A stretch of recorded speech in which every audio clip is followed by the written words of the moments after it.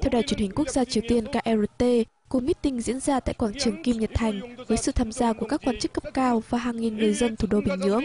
Tuy nhiên, ông Kim Jong-un không xuất hiện tại sự kiện này. Hôm 1 tháng 1, trong thông điệp năm mới, nhà lãnh đạo Triều Tiên Kim Jong-un cho biết nước này đã đạt đến giai đoạn cuối cùng trong nghiên cứu thử nghiệm tên lửa xuyên lục địa ICBM, đồng thời khẳng định sẽ tiếp tục phát triển vũ khí hạt nhân nếu Mỹ và Hàn Quốc tiếp tục tiến hành các cuộc tập trận chung. Tuy nhiên, nhiều chuyên gia vẫn tỏ ra nghi ngờ tính xác thực của tuyên bố này, cho rằng Bình Nhưỡng chưa có đủ năng lực công nghệ để thực hiện tham vọng này. Mặc dù vậy, Hàn Quốc, Mỹ và Nhật Bản vẫn lên án mạnh mẽ động thái của Bình Nhưỡng, đồng thời tuyên bố sẽ gia tăng các biện pháp trừng phạt.